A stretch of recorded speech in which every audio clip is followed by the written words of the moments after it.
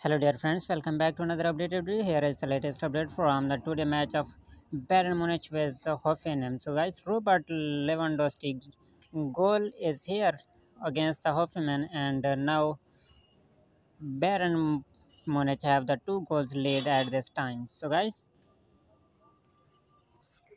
so Robert Lewandowski able to get the second goal against the Hoffenheim at this time and now Bayern Munich have the two goals lead. So guys please subscribe my channel for more latest updates.